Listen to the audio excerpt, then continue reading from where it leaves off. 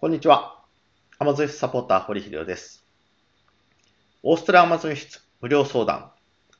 オーストラアマゾン室、学歴も年齢も関係なく、どこでも稼げるスキルが身につきます。初心者向けの簡単な副業。輸出ビジネスは覚えるのは簡単。それなのに大きく長く稼げます。まずは無料相談にお申し込みください。11月30日まで無料相談受付中です。こちらにメールアドレスを記入してお申し込みください。メールアドレスを入力して無料相談申し込むをクリックしていただければ、私の方から無料相談の日程を尋ねるメールをお送りします。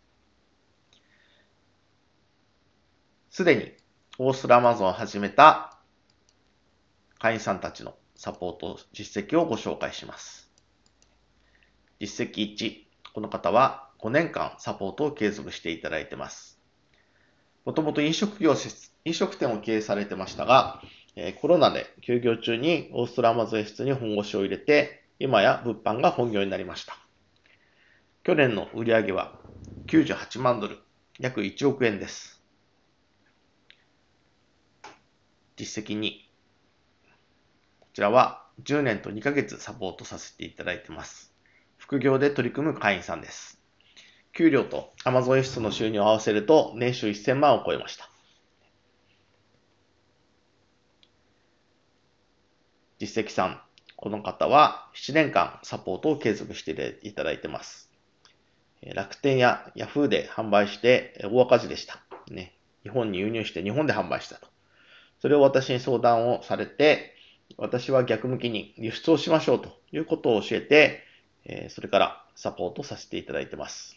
月売り上げは、まあ、1万ドル以上は言ってますけどね、え1万ドルだったり、えー、調子のいい時は3万ドルだったりというような金額です。まあ、2人の乳幼児を育てながらのね、副業で取り組んでこの実績なんで、えー、大変な努力家だなと思います。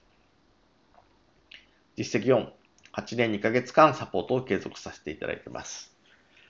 この方、休職中にオーストラリアアマゾン室に取り組んで好きなことができるようになりました。月の売り上げは4万3000ドル。そして実績後、この方が現在いる会員さんでは一番長くサポートをさせていただいています。12年3ヶ月間サポートを継続していただいています。月5万円の元では初めて Amazon 室が本業になりました。それぞれね、実績のところに動画を貼ってありますんでね、えー、気になる、実績の会員さんのご覧になってみてください。あなたも取り組めば同じように稼げる可能性が高いです。